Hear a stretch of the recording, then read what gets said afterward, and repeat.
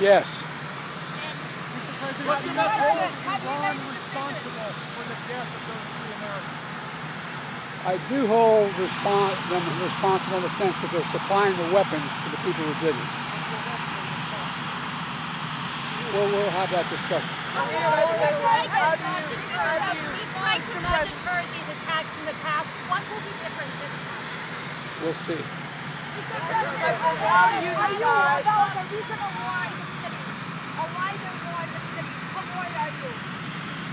I don't think we need a wider war in the Middle East. That's not what I'm looking for.